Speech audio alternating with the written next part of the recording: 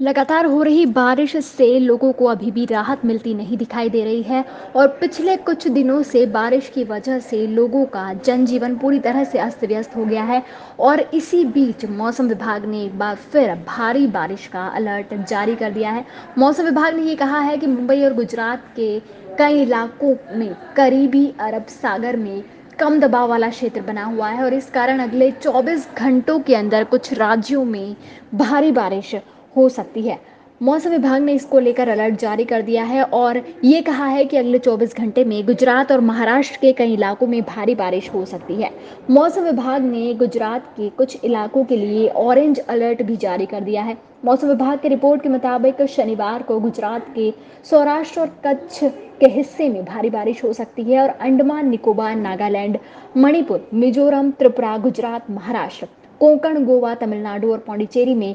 भारी बारिश हो सकती है। इसके साथ ही मौसम विभाग ने 12 राज्यों में भारी बारिश होने की चेतावनी जारी की है। मौसम विभाग से जारी की गई चेतावनी में ये भी बताया गया है कि अरब सागर से लगे तटीय इलाकों में पैंसठ किलोमीटर प्रति घंटा की रफ्तार से हवाएँ चलेंगी। ऐसे में गुजरात और महाराष्ट्र के तटीय इलाके में मछुआरों को समुद्र में न जाने के लिए कहा गया है। इसके पहले भी मौसम विभाग ने यूपी के 16 जिलों में भारी बारिश को लेकर चेतावनी जारी की थी और अब एक बार फिर मौसम विभाग ने गुजरात और महाराष्ट्र के कई जिलों में भारी बारिश की चेतावनी जारी की है subscribe our channel and press the bell icon for more updates.